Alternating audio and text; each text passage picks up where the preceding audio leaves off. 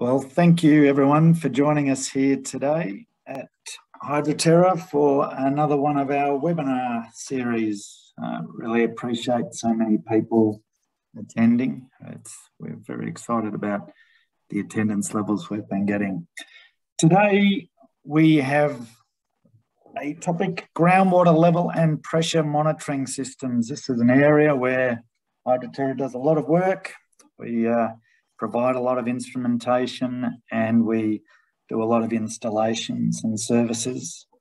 Today we're joined by Steve Cody, uh, who will be co-presenting with myself.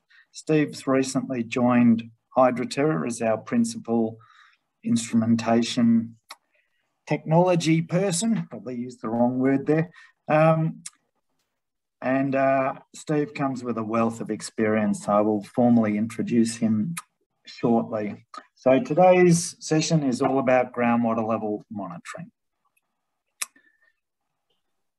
All right, so a little bit about Steve.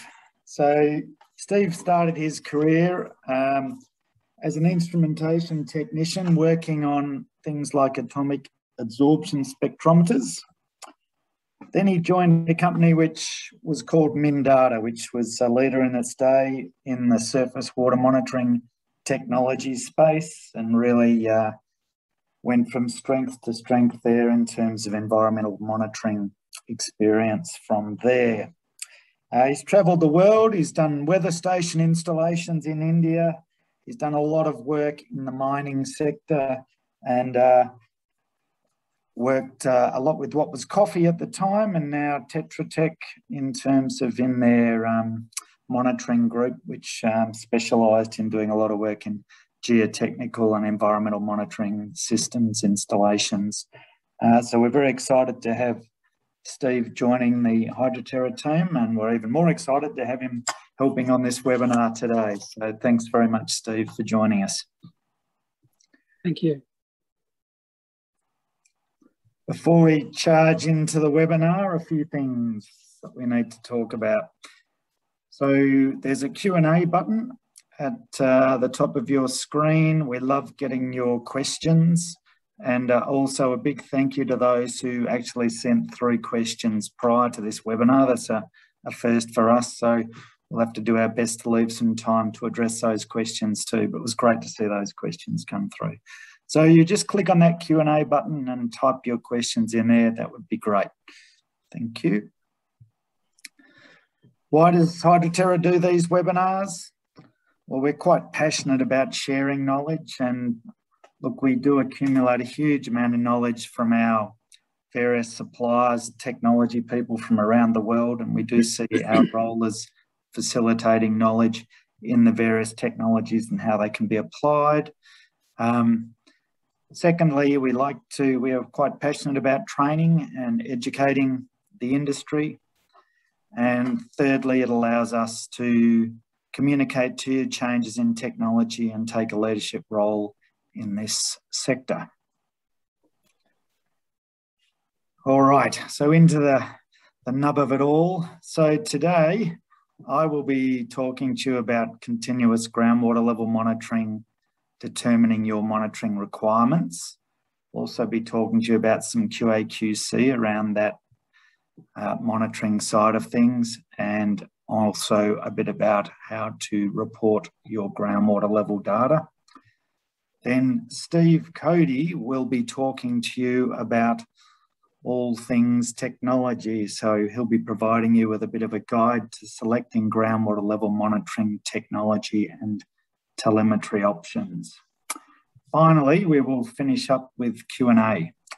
So without further ado, I will charge in. So in terms of the essential components of your you know, groundwater level monitoring program, often people ring us up and they leap straight to I need a level logger, right? Or that sort of thing. But often when you dig a bit, you realize they haven't really mapped out all their considerations before they've they've rung us up, and it does influence what you should use. So it's really important that you do think through a, a variety of things. So some of them I've listed down here today. So what parameters to be measured? Sometimes people ring up and they think they want level and by the end of the conversation, they're also wanting temperature and conductivity, for example. So it's good to think about that.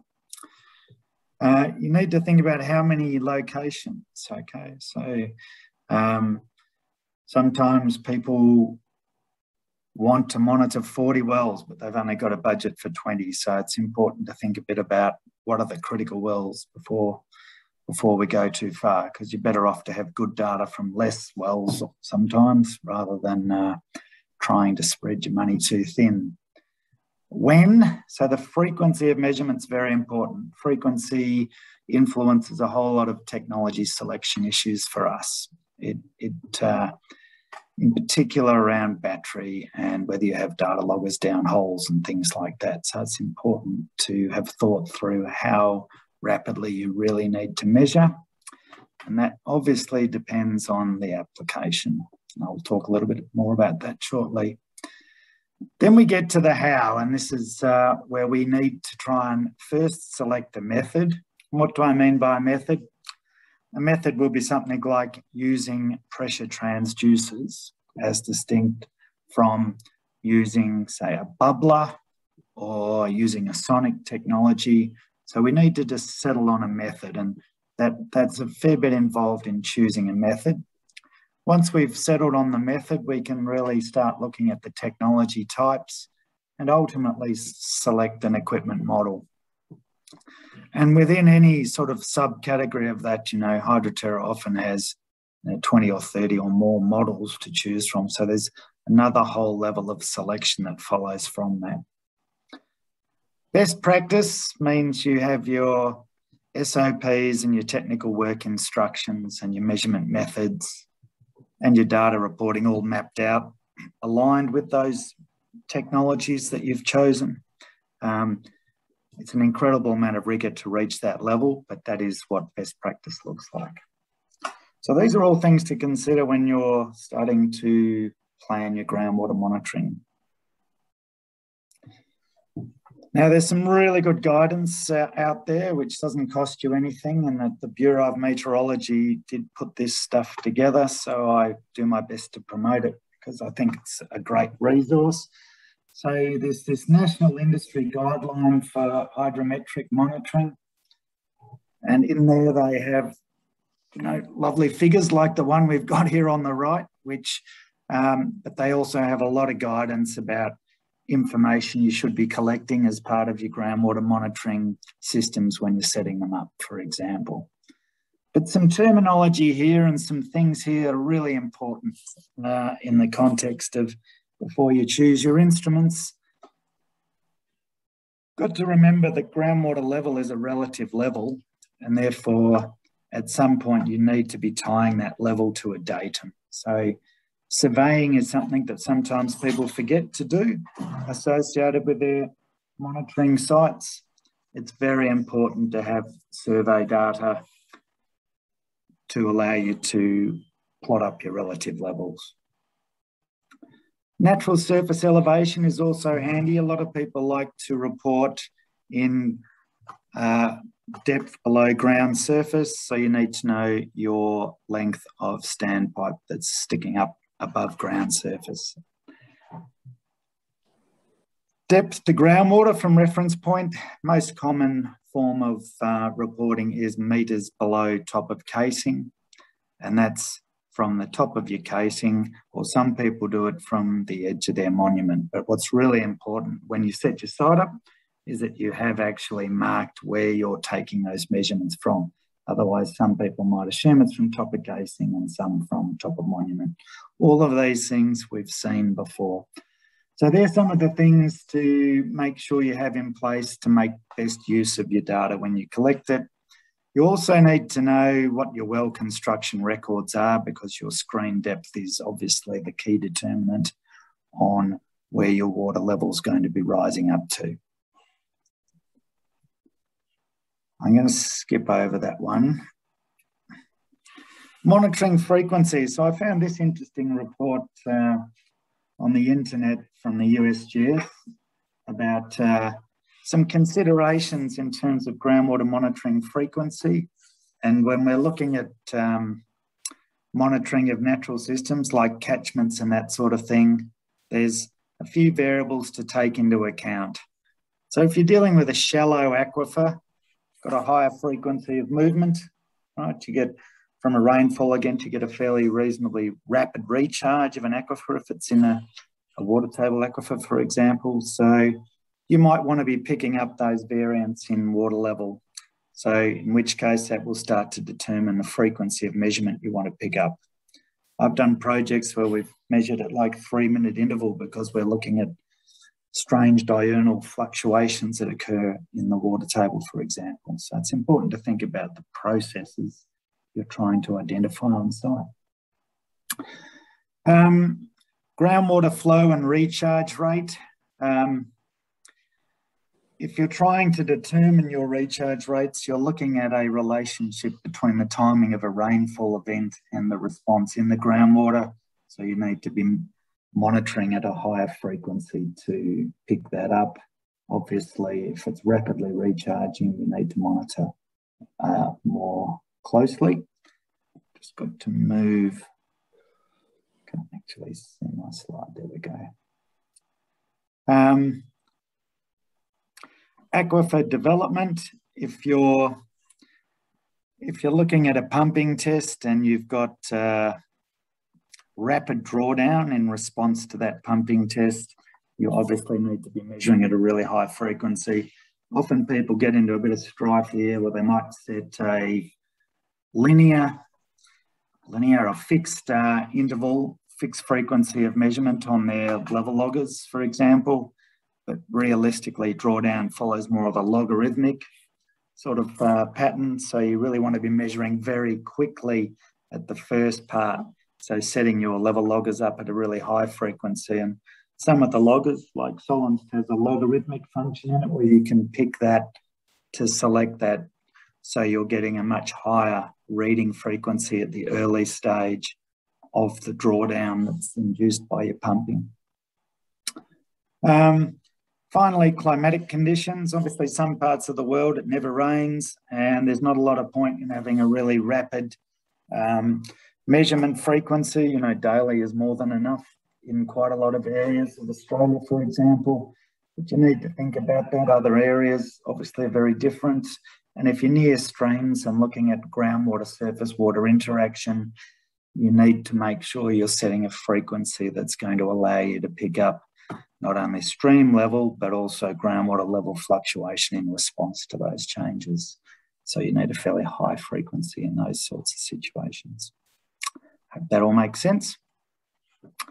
Um, I might skip over this because I'm conscious that Steve's got quite a lot to present on. Um, I think I've covered most of that in what I just said. I did want to talk about frequency of monitoring in the context of industrial facilities. So I've just been talking about, you know, natural system like a catchment. But industrial facilities have a whole other set of things driving what frequency you set your groundwater level monitoring data at, or leachate level for that matter too. The first one is always have a look at your compliance monitoring requirements. So you have these approved monitoring plans, which are really what your facility needs to comply with. Okay, and so they often specify a frequency in them, and that frequency has to be complied with. So always check that when you're planning on what sort of technology to get because you might get a shock that your battery runs out if you're trying to measure something at a higher frequency than it can cope with, for example. So the sorts of compliance levels that come up uh, around landfills, for example, which is what this example is, is we're, we're installing a lot of automated groundwater monitoring level systems for measuring leachate depth on liners. You know, there's a compliance criteria of not more than 30 millimetres on top of your liner. So it's important to make sure we can monitor that. Leachate doesn't tend to move that rapidly. except in response to pumping. And it's important to know that the pumping side of things is working. The second one that comes up quite a bit is more for monitoring of surface water, so leachate level in your leachate ponds. So um, there's, there's typically a regulated freeboard amount. What's freeboard? It's the amount of um, wall left before it overflows, right? So you want to have a reasonable buffer there, otherwise we'll have leachate flowing out. So uh, we call that freeboard and um, can set up pressure transducers and other devices to measure the levels of those ponds. But the other one to think about, which is really important, is operational monitoring. Okay, so this typically requires a much higher frequency of monitoring than compliance monitoring. And that's because there's machines that turn on and off in response to it. So automated pumps, uh, for example, on uh, you know, groundwater dewatering sumps, leachate sumps, all of those sorts of things, and uh, and leachate pond pumps, etc. Um, really important that you understand the responsiveness you need out of your monitoring system. Like for some some systems you might set up and say, look, we only need to send data out on a 15 minute basis. But if it's connected to a pump, we actually want something very direct, right? And so often we use a different sort of comms connected to these sensors than we would for, say, compliance monitoring because you actually want a direct connection through. So it might be hooking straight into a SCADA system or it might be going via sort of uh, radio and then continuously transmitting comms to allow for a very rapid switching on and off. So when you're thinking about why you're monitoring, you start to think about the frequency that you need to measure at. So I just wanted to go on about that a bit today. I hope that makes sense. One last thing is in with the new EPA Act in, uh, well, not quite so new anymore, in Victoria, there um, there's a real linkage between operational and compliance that's emerging because you need to be sort of operating to to your most efficient, right? I can't remember the exact words I use, but essentially that's what it means. And that means that really it's about us getting better and better at the operational side of things. What would that mean in terms of a landfill leachate scenario? Minimizing the time that you had leachate ponded on your liner, for example. So optimizing your pumping frequency, for example. All right. So quality assurance around groundwater data. In my experience, people are pretty good at buying pressure transducers from Hydroterra, and thank you very much for doing that. Obviously appreciate it.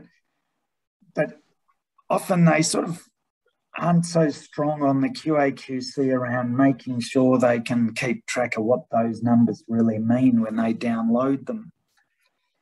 Um, so a couple of things that I'm really keen to communicate across today. So when you do get continuous monitoring data, you should be spot checking it regularly against manual data. And that's manual data dipped with a tape. Okay, so you always have a check measurement. That allows us to keep an eye on things like what we call sensor drift, where the sensor might be slowly but surely measuring incorrectly. Or sometimes sensor drift's actually not caused by the sensor at all. Sometimes it's what it's hanging from can be stretching. So you can get these errors that come in. So really important to have regular manual dip measurements. And there's some guidance in this national industry document that um, I've got a picture of there from the Bureau of Meteorology around the frequency of check measurements. Okay. Also, always refer to the manufacturer's manuals the other big thing I've been seeing is that people will deploy a sensor and assume it's going to work forever.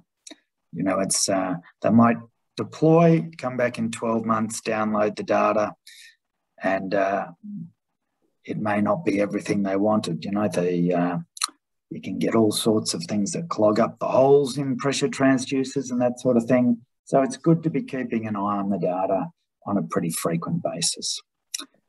So the manuals that the various um, suppliers have are often really, really good, really comprehensive. And in there, they will have recommended maintenance regimes a lot of the time. If they don't, feel free to give us a call. Make sure you keep those spot check measurement records. And sometimes the software of the loggers allow you to actually type that in there. So you've got a record there. Uh, sometimes in telemetered systems, there's a spot to put a manual spot measurement as well. It's really important to keep those records. Next one is non-vented pressure sensors. So quite often people ring up and they want to buy a pressure transducer and they say, oh, I'd like a non-vented one, thanks. And then we start the discussion about, well, you'll need a barologger for that, for barometric compensation. And I'll say, oh, do I really need that? Well, the answer is yes, you really do need that. And uh, you need to do that for reasons that Steve's going to talk to about how they actually work. So make sure you always do your barometric compensation when you're using your um, non-vented pressure transducers.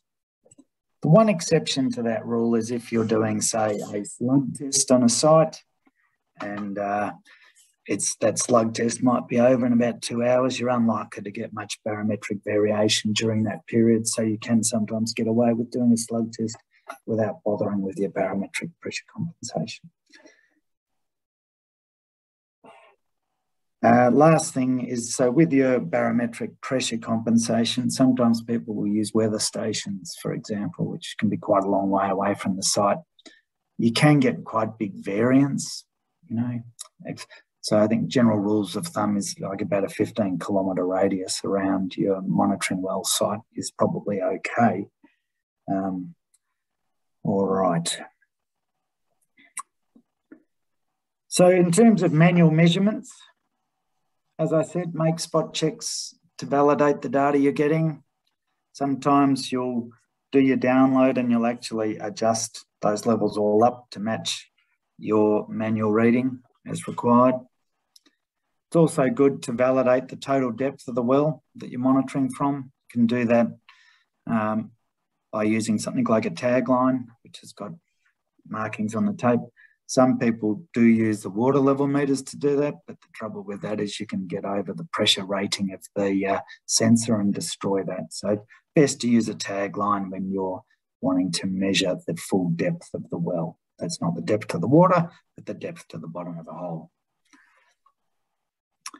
Um, I found this interesting. So this is in this document, just the errors that you should sort of cite when you're using manual readings, right? So what's the likely error from using a water level meter tape?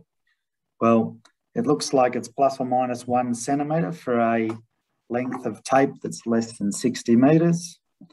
Looks like it's three centimetres for depths of around 150 metres. And then it looks like it's up to 15 centimetres for a tape that you're dropping down about 500 metres. So these are quite big movements, right?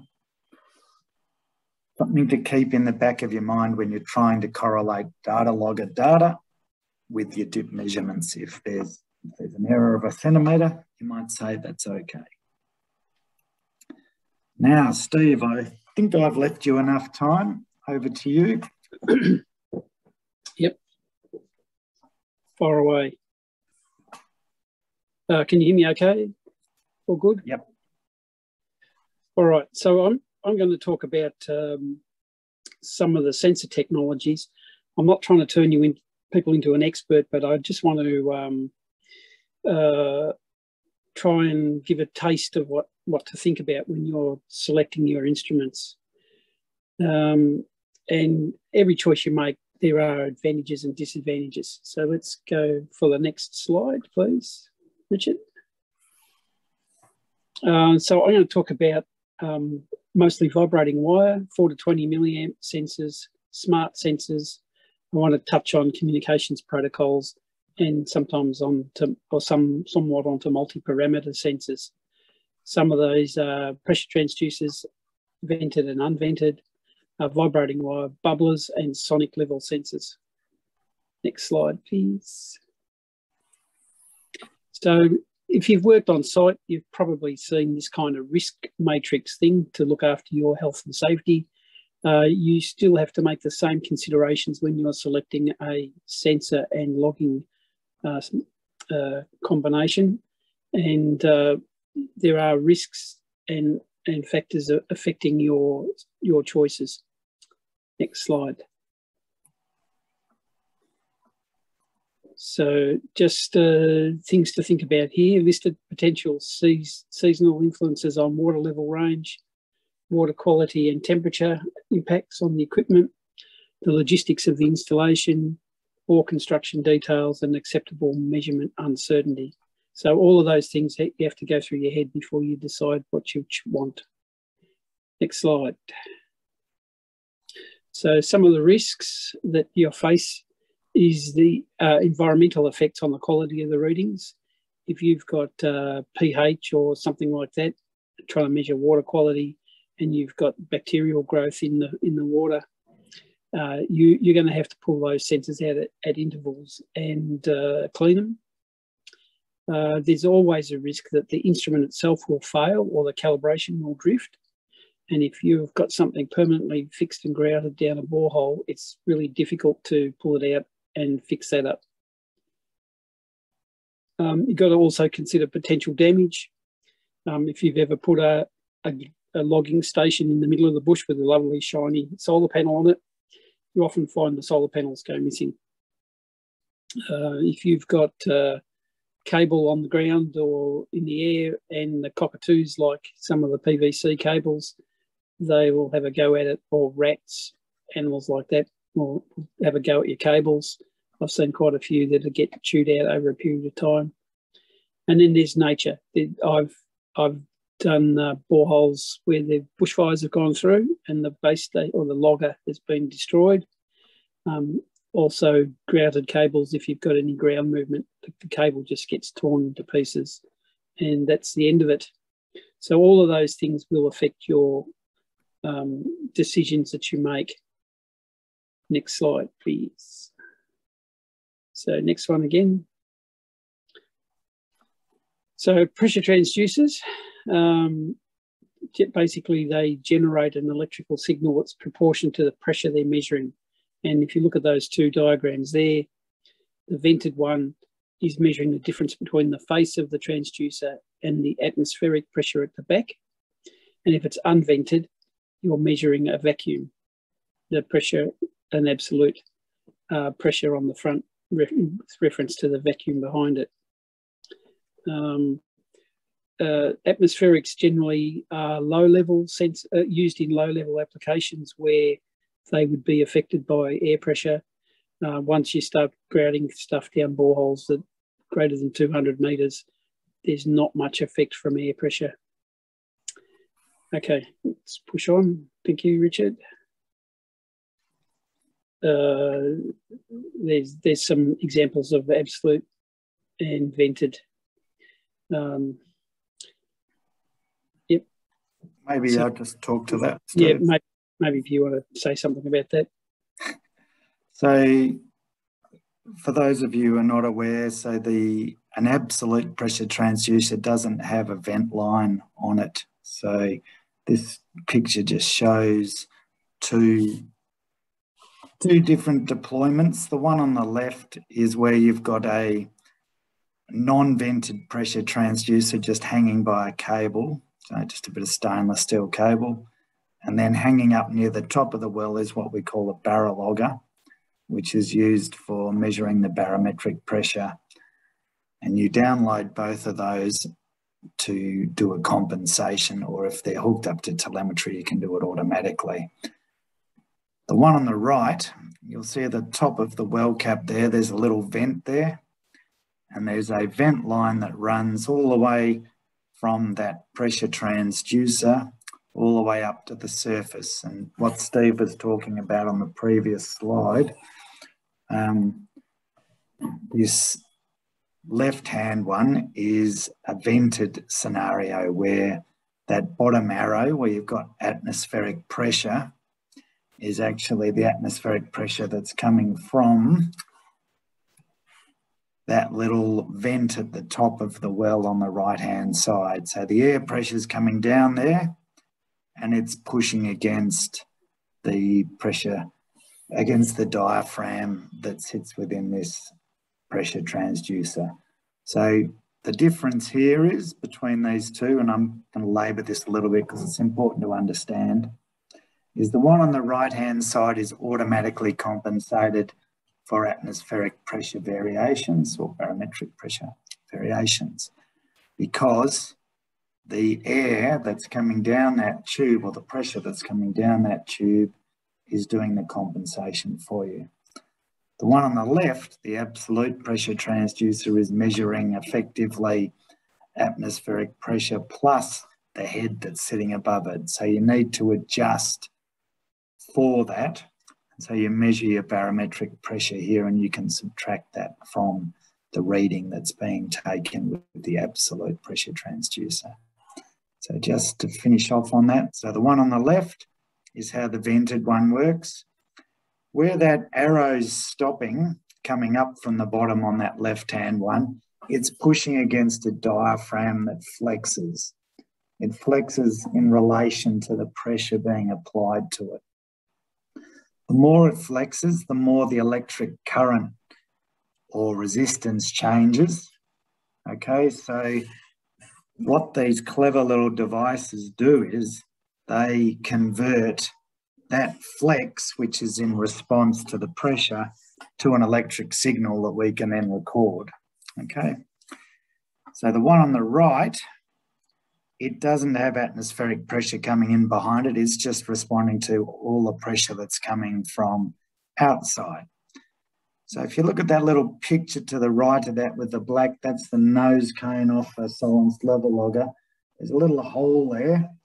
That hole is where the water flows in and the lines above it are where the diaphragm is located. So it's flexing in response to the water that flows in through those little holes. So I hope that helps. Um, let me know if it doesn't make any sense. Back to you, Steve. Because the one thing to remember here is uh, you've got the vented tube running all the way down to the pressure transducer. Um, it, it, doesn't like um, moisture in there. So most vented uh, systems will have a, a, a, a um, moisture absorbing um, um, thing up. I get desiccant. Desiccant, Steve. That's all right most will have a desiccant chamber that the air passes through to try and keep the moisture out. Once you get a puddle of moisture running down there and sitting on the back of the transducer, that's usually the end of the end for it. So uh, yeah. Anyway, let's push on from there. Uh, I think we covered those. So differences between with the absolute, you don't actually need a cable. If you've got uh, a baro a logger built into the back of the transducer, and you can actually sit it down in the darkness by itself, running on its own battery for a long period of time, and um, just pull it out to download it occasionally. There are advantages and disadvantages listed there on, for both of those tra transducer types. Um, and they're all things you'll need to consider when you're selecting your system. Uh, let's go next one, please. So uh, this is a um, diagram here of, uh, of when we deploy absolute pressure transducers. You need to, the, these are ones without the cable. Uh, they need to be on a cable that doesn't stretch. When Richard touched before on um, drift and, and uh, degradation of your readings, it's, sometimes that's the cable stretches. Um, there are uh, borehole transducers that you can get that have a Kevlar strip in them, and the Kevlar doesn't allow the cable to, to stretch. Uh, but if you see there, the absolute ones there, they're just hanging in the hole. There's a baro logger up the top to, to log the barometric pressure. And the, the submerged one's actually doing the, the work of monitoring the water level above the transducer. If you look at the one on the right hand side, it's a similar thing um, but you've got a direct read cable. So you've actually got an electrical connection to the surface. Um, yep, basically you're using two loggers instead of trying to get the atmospheric pressure on the back of your submerged sensor.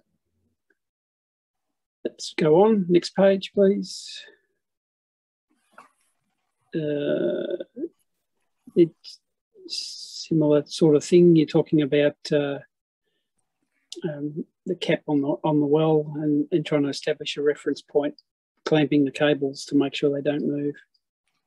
It's also a bit about, um, and apologies, Steve, because I didn't give you much time to look at no, these slides. It was a big rush uh, team for this one.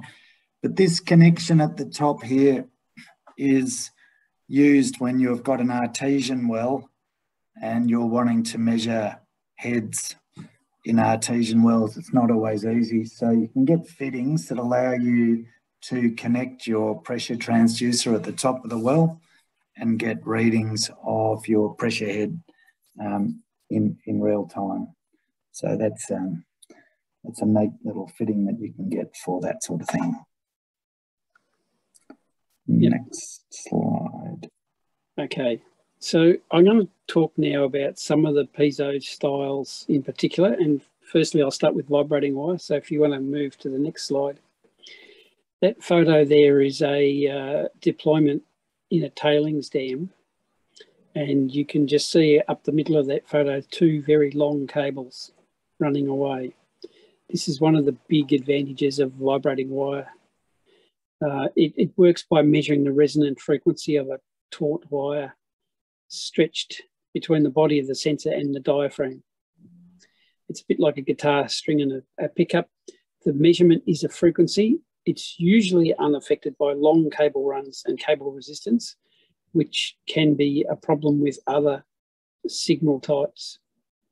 And they're stable over long periods. So this is what I would use in um, grouted boreholes because you can't dig them out once they're in, but you need something that's going to last a long time. One of the drawbacks is that you you need a logger with a specialised interface to actually pluck the wire and measure the return frequency. All right, let's go next one. So this is this is a simplification of it.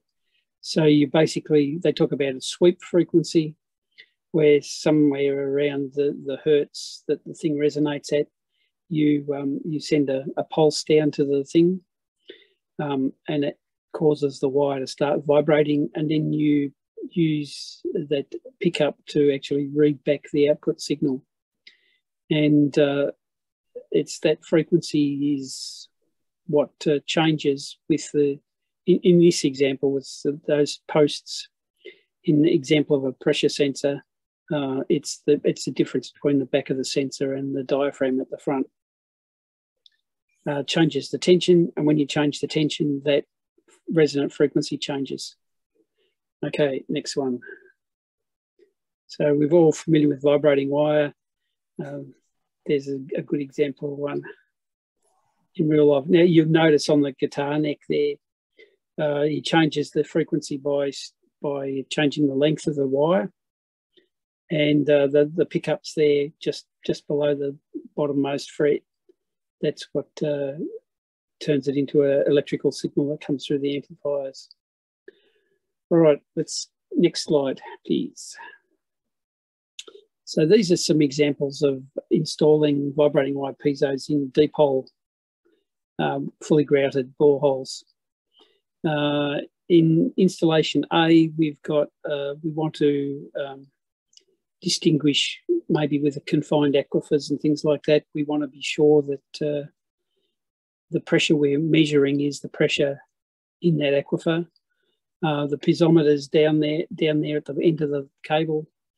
Uh, it's generally surrounded by sand to make sure that we don't get any fines migrating into the into the diaphragm and causing some kind of um, mechanical obstruction that will change our reading uh, uh, and installation B, you'll see the different, only difference between A and B is that in installation A, there's a, a small sand section between the bentonite grout. So bentonite makes the grout, uh, makes the cement um, permeable and so it will transmit water pressure through the cement. Um, typically, with a piezometer, because it's mechanically because the mechanical tolerances determine the resonant frequencies, you do have to do zero readings and for, and readings at depth. So there's a little bit more administrative stuff and uh, in in measuring the the piezometer in its raw state and before it goes underwater. And again, that's part of the QA/QC process of making sure that you, you catch capture those readings before you commit. Because once you cement it in, once you grout it in, that's it. You ain't getting it back. All right, next, please. All right, another step. Step on. So gas bubble systems is another way of measuring. Um, the, the way a gas bubble works in principle is you put a piece of tubing down the pipe and you have a little pump up at the top. You pump like a bike pump, you pump air in, and when the pressure at the end of the pipe equals the pressure of the water head on it, um, the bubbles will bubbles will will equalize. So when you put more pressure on, you blow bubbles out the end of your pipe, and when you stop it, and the bubbles stop, then the pressure in your line is the pressure at the tip of that plastic tubing. Uh, the, these are limited to, um, uh, I'm not sure what's the pressure, 200 metres or something, isn't it, Richard? It's getting really hard, difficult to pump pump the pressure. More, um, you can run quite a long tube. It's it's limited by the head of water that can be above the orifice.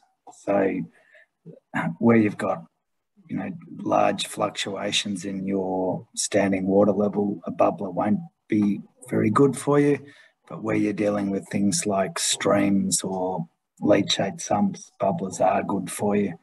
It actually comes down to, I think it's that sort of range of atmospheric pressure. So it's maybe up to eight meters or something like that. You can run these in terms of submergence. But I'd need to double check that. Just that while I've got the floor, um, so that picture on the right there is a bubbler that we connected up to leachate sump. So the sump on the, the right there is got a sealed top because it's also got gas accumulating in it. Um, and it's got um, pneumatic pumps in there. But you see the tube that comes out of the white box mounted on the pole is your bubbler tube, and it's a very thick walled tube with a, a very narrow orifice in there. And the reason for that is they don't want it to flex in response to when you pressurize the air that's going down that tube. So that tube's actually strapped to the pump line that's down in the sump and it's just attached by um, tape that's been wrapped around it, strapped it to that tube. And in the white box there, there's a little compressor that comes on and it blows that compressed air down that Steve was talking about. Um, this one's all solar powered, so it can operate um, at a reasonable frequency. It is driving a compressor, so you can't measure at a really rapid frequency, but it's okay. I think we've had that set up on like one measurement every 30 minutes on that system. Um, so bubblers are a great way for monitoring leachate sumps and that sort of thing, and also stream water levels actually. Back to you, Steve. Yep. So, so one of the big advantages of bubblers is the tubing is relatively cheap. And I've seen installations in streams where they get scoured out by floodwaters and um, it's easy enough to just put another piece of piping pick. Oh, oh sneeze coming up. Sorry about that. Um, and and again, the big other advantage of that is that the electronics is nowhere near the, the fluid, so it's uh, it's you can make it quite a bit safer from from nasty things happening. All right, let's go. Next one. Okay, next slide. So we, we're talking about when we're talking about um, vibrating wire and other types of sensors, the primary the primary measuring technology may be the flexing of a diaphragm, but uh, you've got to get that signal back up the wire, back to back to where it's going to be useful to you. Um, vibrating wire is good because it's a, a frequency which is uh, unaffected by cable lengths. Uh, another one to consider is 4 to 20 milliamp. So our little piece of electronics that's down in our sensor we'll take the output and turn it into a signal that's either somewhere between 4 and 20 milliamps output current. Um, there are several variations on this. 4 to 20 milliamp is mostly used in industrial applications. Um, and two wires is all you need for low power pressure sensors. And you may have three wire versions, which are uh, things like flow meters that, that need more than four milliamps to operate. So you, you provide a third wire that, gives it enough power. Um, as I say, they're generally unaffected by cable resistance, but it's important that you make sure that your little box of electronics down the bottom of the hole has got enough voltage to actually operate properly and you don't get voltage drop through the cable. So you, you have to increase the voltage at the logger end to make sure that the sensor end gets good enough voltage to, to happily operate and um, do the 4 to 20 milliamp side of it. Uh, it's a pretty easy technology to measure. Uh, you basically pump your current through a resistor and measure the voltage. Um, and like I say, it's common in industrial applications. It's certainly simpler to read than 4 to 20 mil, uh, sorry, simpler to read than vibrating wire because um, it's just a voltage. Uh, the other way we transmit signals is with uh, digital sensors, and they, they, these are ones where the electronics is down the hole. It reads the data, it processes the data, it does calibration, and it sends a number.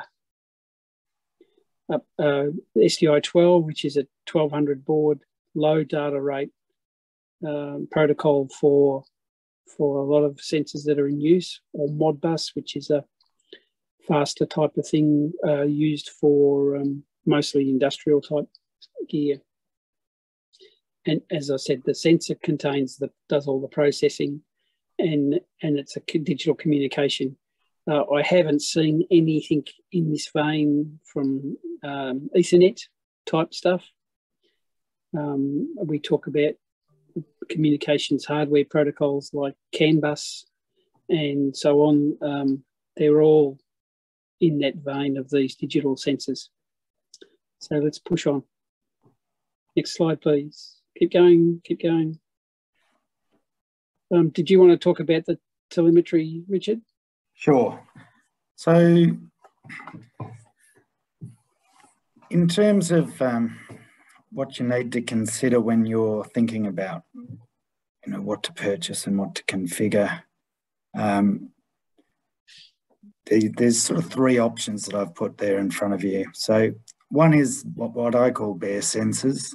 Um, and these are sensors that don't necessarily have like a data logger down the hole, for example. They tend to have minimal electronics down the hole, just enough to get us our measurement. And you have the data logger and the power supply and everything at the surface along with your telemetry unit. So we use that sort of configuration up in the Surat Basin where we're monitoring um, deep groundwater, where the temperature of the groundwater is quite high and the deployments are quite deep. And it, it, it has proven very reliable um, because you've got the minimum amount of electronics really in contact with those, those groundwaters. The second one there is the smart sensors, and that is so you can have two sorts of combinations of smart sensors. So you can have smart sensors without a data logger. Now, these are the ones that Steve referred to, like where you've got a, a comms coming out as a number. And SDI 12 is a very common way, a common communication protocol for those numbers to be coming out. Um, as as is Modbus. So SDI 12 was actually invented by the USGS, and uh, it for that reason, I think it became entrenched as the more common comms used for a lot of the sort of catchment environmental monitoring side of things, uh, whereas Modbus came more from an industrial background. Um, but both of them are produced out of these digital devices, and it's a number that's going up the cable from those devices as distinct from a voltage. Um, so sometimes you'll have a smart sensor without a data logger down the hole, and uh, that can be pretty useful. Uh, in fact, you can have a smart sensor without a data logger or power supply down the hole, but you can have a number coming up the cable. So uh, sometimes that makes a lot of sense to do as well. So three choices there really when you're looking at how to integrate. Um, if you think about it from a money point of view and a complexity side of things, a lot of the time you do have a telemetry unit at the surface, and uh, there's one on the right, for example. Um, telemetry systems often have a data logger in them anyway, so um, why would you have a data logger down the hole as well? Well, the answer to that is if you want some redundancy, right? So if you're worried about the telemetry going down, at least you know you've got that data on your data logger down the hole. But um, what I've found over time is the keeping these systems as simple as possible actually works best. So uh, with these really long-term deployments, I quite like the idea of bare sensors with um, you know data logger and telemetry at the surface, um, just as just from experience.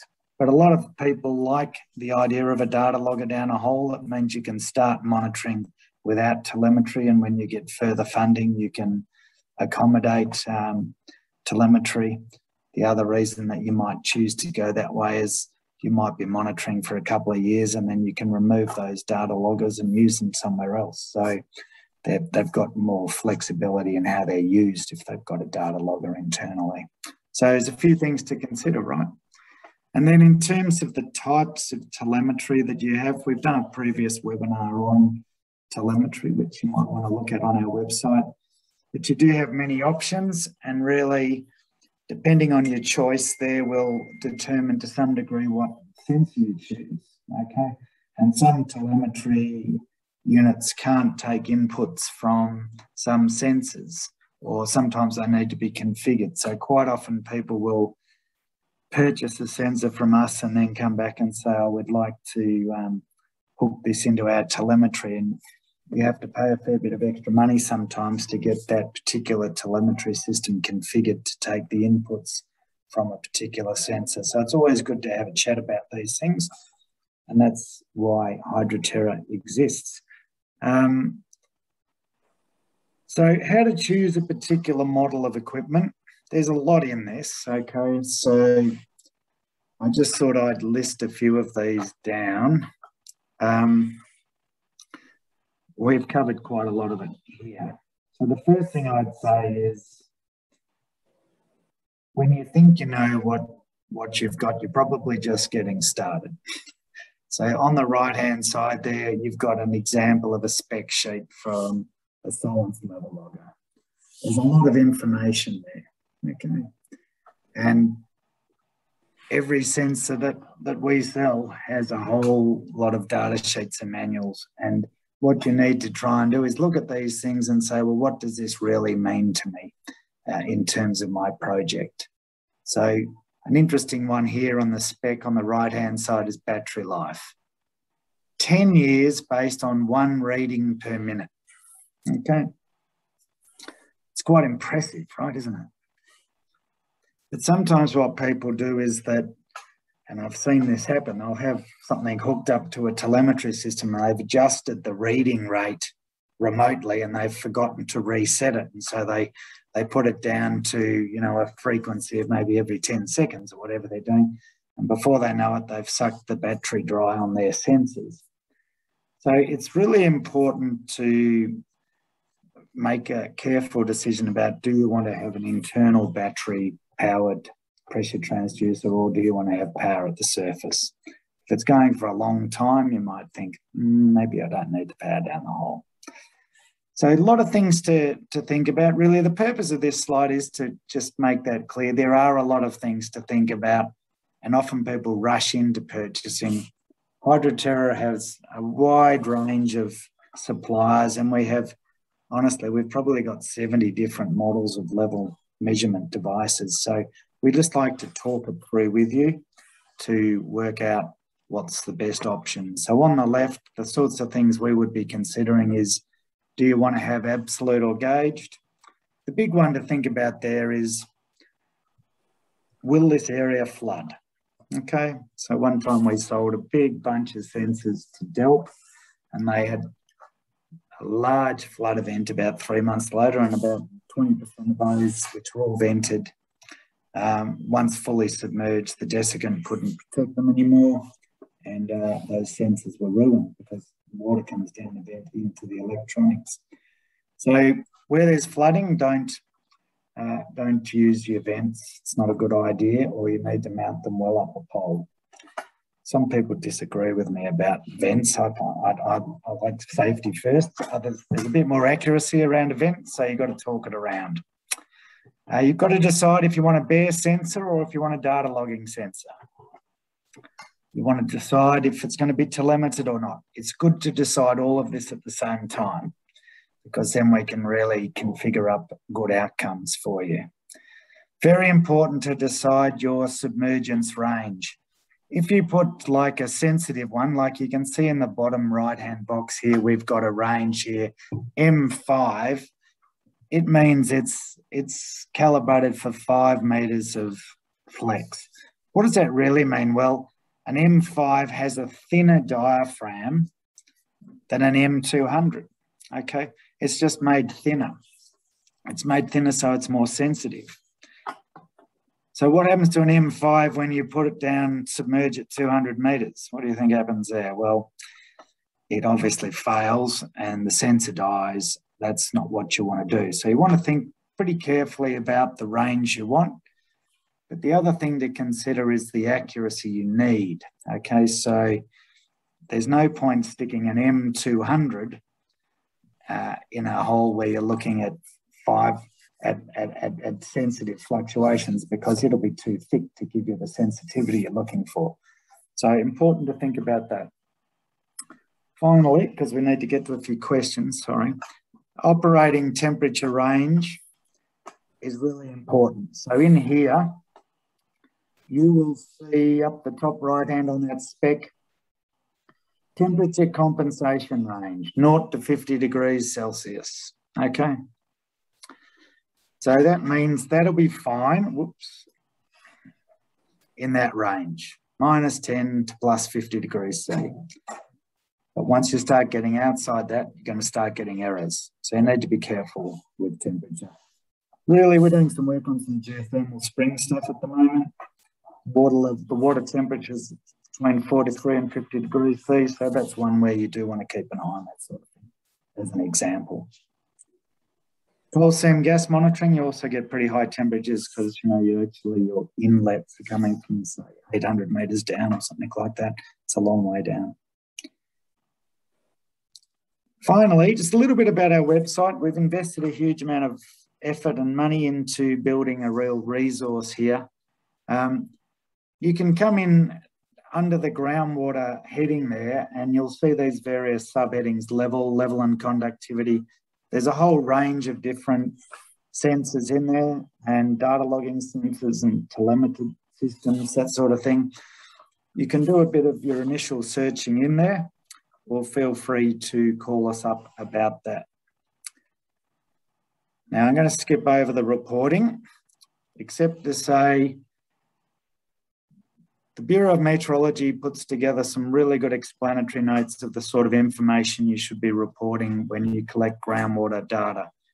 Now, this guidance is really for the water authorities and their contractors, but it does highlight what you really need to collect uh, to be doing this properly, okay, or the information you need to be able to access.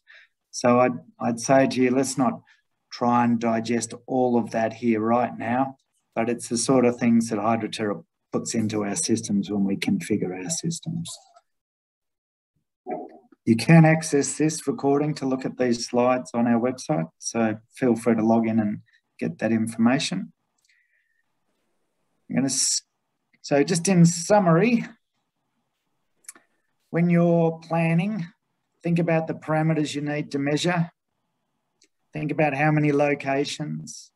Very important to think about the frequency you want. Then start thinking about the technology, and that's really where Hydroterra's got a team of instrument technicians and electronic engineers to help. And then think about the quality assurance processes you need in place to make sure that those systems are truly measuring what they're reporting back to you. Um, there are several methods you've heard Steve talking about today. There are actually more than the ones we've covered today, but they're the common ones used for groundwater. Um, VWPs, very important role they play, particularly in mine sites on tailings dams and that sort of thing, and also in geotechnical investigations. More standard pressure transducers and smart pressure transducers are used a lot for more groundwater resource monitoring and monitoring of open water bodies. There are many suppliers and uh, you need to choose carefully and HydroTerra is here to help with that. Now over to some questions. So well done guys, I've called these the early bird questions. Uh, thanks very much for sending these through. So I'm going to start with these. So John Hayes, vented versus unvented, any preference? What works in bores greater than 200 metres deep? Steve, do you want to have a go at that one? Um, yeah, look, basically, in, in deep holes, unvented is better because it's sealed essentially. You, you can't uh, stuff it up by getting uh, condensation in the pipe tube. So, um, yeah, when you say bores, I'm I'm thinking um, fully grouted. But if you're not fully grouted, uh, you might have to do the math and figure out how much difference atmospheric pressure makes to your readings. Okay, yeah, I think that'll do. All right. Next question from Matthew von Snarks. Dealing with high iron content water monitoring, inexpensive near real-time remote monitoring solutions. I certainly know that iron in, uh, so we, where we find high iron, well in quite a few groundwater places around Australia, but up around the Murray River on the salt interception schemes. For some reason, there was a huge amount of iron, and you get the when the pumps are operating, in particular, you get the buildup of this bacterial iron sort of. Um, it's like a jelly actually that builds up. That that would block the holes in the um, uh, in in most of the pressure transducers, so that that would make it difficult. The bubbler poses a potential option depending on your water level fluctuations you're looking at. Um, they're probably my two thoughts. Steve, did you have some thoughts on that one? Um, no, it's a short answer. uh, I mean, the whole, there, Steve. sorry, I'm joking. Um, the, so the whole, I'll come back to all of these questions um, with an email, by the way. But, um, I've got some ideas for remote low cost monitoring there. In terms of, did you want to say something? I was just going to say the high, high iron content is more the environment you put in your sensor, not the way you measure. So, like anything else, like fines or um, bacterial or or other contaminations, you have to choose sensors that, that will deal with that situation. The um, in the Solinst manual, there's some guidance there about using balloons. You can put over the, you can fill a balloon up, partially fill it with distilled water, and uh, use a tie wire at the top of it and lower it down, and it creates a protected zone, so it's still getting the pressure Um, it's protecting the sensor, which does seem to work quite well, but you need to go and change that water because in the end it does equilibrate and you can end up with the water quality that's on the outside being the same as on the inside of that balloon after a period of time. So that's another approach I've seen there. Next one's a good question. Chantal Millis, how do you manage process conflicting telemetry data collected and raw logger data when both return different level data? I was going to say this this whole business of collecting data is a bit, can be a bit of a religious war at times. Um, I'm I'm in favour of collecting raw data and post processing it. But if you're talking about um, where you where you put some calibration parameters into your logger or into your transducer, and um, you can't recover the raw data. So if something starts to go wrong and you start to get weird readings, you start to say, did I get my datum wrong? Did I get my my scaling factors wrong? Did I? Who knows? Um, and and that's why I tend to prefer uh, to, to just keep the raw data, the raw logger data, and do all your calculations post processing. So, so I suppose there's there's two parts to that answer. I think um, there's when you have this sort of divergence of, of readings, it does require a fair bit of uh, analysis to work out those potential sources of error. And there are there are several. Um, need to need to just work through them, I guess, one by one, really. Uh, in terms of the next question, Liz Carey, these presentations are always great. Thanks, Liz. Like that one.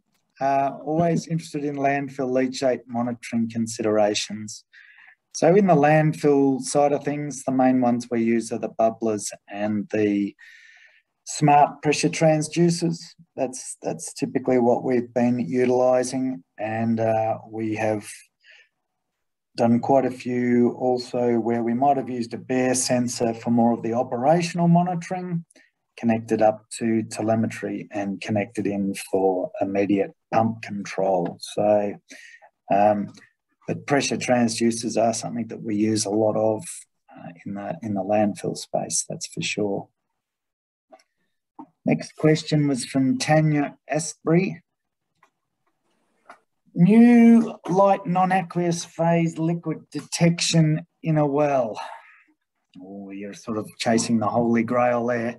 Um, I have seen a automated hydrocarbon monitoring system, um, which I'm trying to remember its name. It's something um, global something, and it it lowers down.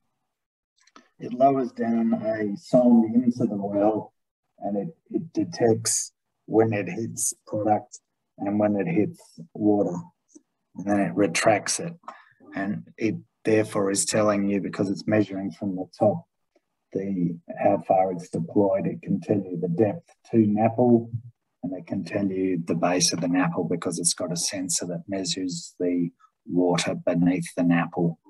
Um, so I'll send you through the name of that that device. I haven't dealt with that for quite some time, but um, I'm not sure if there's any. We have just sold a real-time hydrocarbon sensor um, up to Ampol actually for one of their refinery sites. That was more for a surface water application. Not sure if that would be helpful for you in terms of delineating NAPL itself. Um, but yeah, there are hydrocarbon sensors, um, probably more than you realise. Um, and some of them some of them are available fairly you know on fairly standard multi-parameter sensors but they typically are not speciated down to the level of um, you know BTEX for example it's it's more a total sort of content of um, oil content um, now we have i'm just going to try and I've got a little bit of problem here seeing the chat. Just give me a second. Q&A, one more question from Travis. Groundwater monitoring is new to me, so sorry if this is obvious. Bubblers seem like an old school but reliable system, but least vulnerable to external factors due to the minimal electronics involved. Is this the case?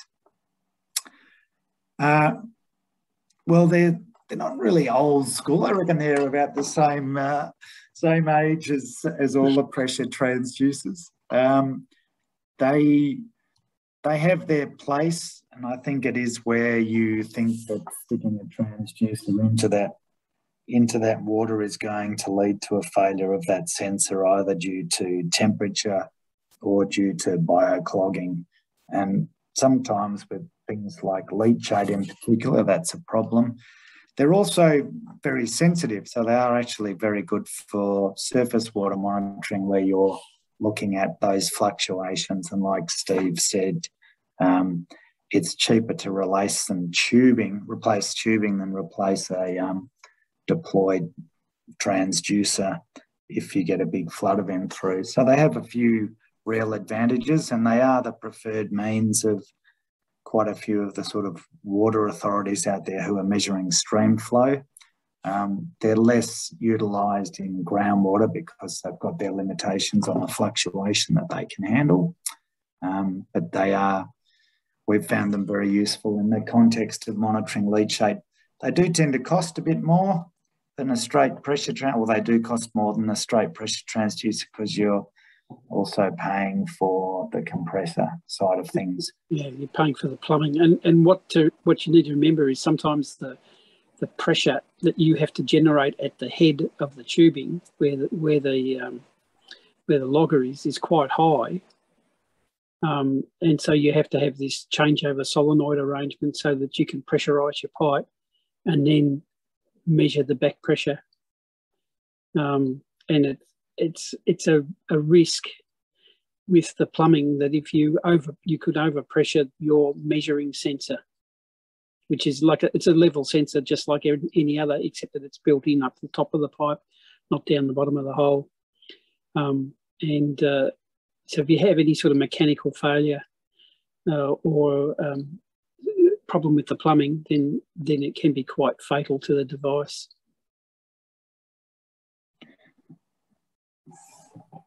Okay, so I think that concludes today's webinar. We've gone a bit over time today, um, but thank you very much everyone for attending. We've still got a lot of people online, so I think that's a, a credit to you, Steve. Well done. Um, and, and many thanks everyone for turning up today. It's been great to have you all here.